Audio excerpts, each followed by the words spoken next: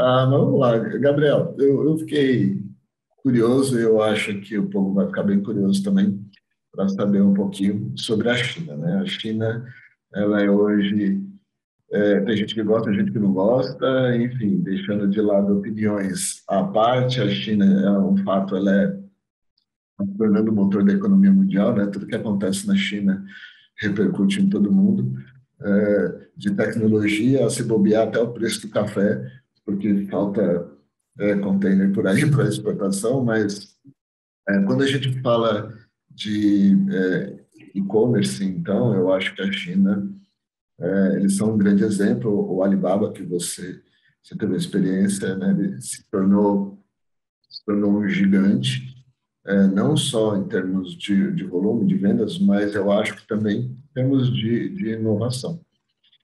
É, então, eu queria que você abordasse um pouquinho dessa sua experiência lá na China, o que, que você viu lá, como que você foi para lá e o que, que você viu lá, né?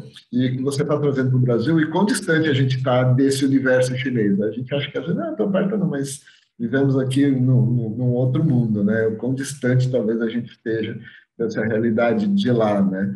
É o que gera oportunidades aqui também. Mas conta um pouquinho para a gente, para começar essa sua experiência lá em terras chinesas. Legal.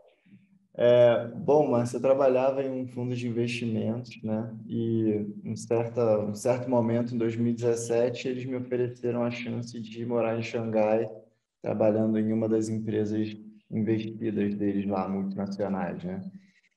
E eu nunca tinha pensado em morar na China antes. Assim, eu admirava de analisar o Alibaba, né, de fora e lendo relatórios e tudo mais sobre China, mas assim, tinha ido na China uma vez em 2010.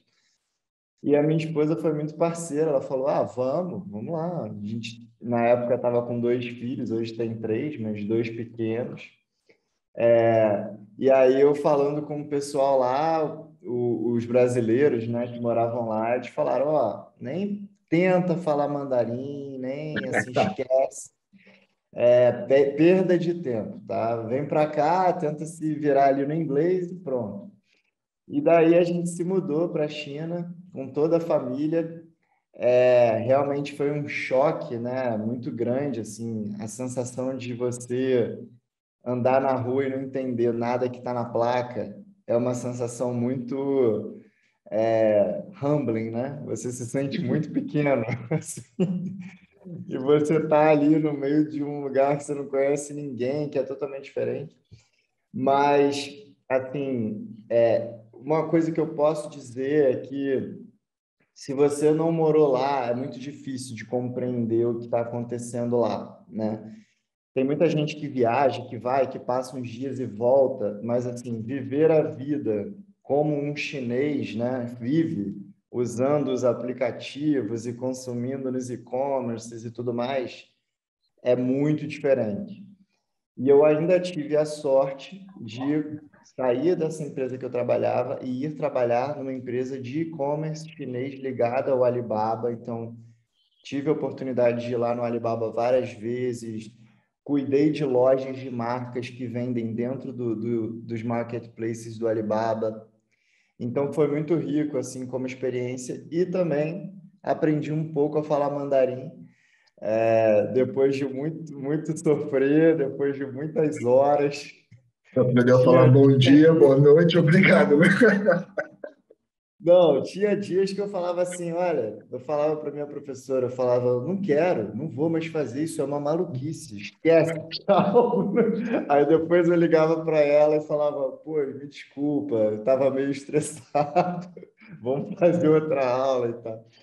Mas assim, é, sobre a sua pergunta, né, tem uma coisa engraçada sobre o e-commerce lá na China, que é bom contar com uma história.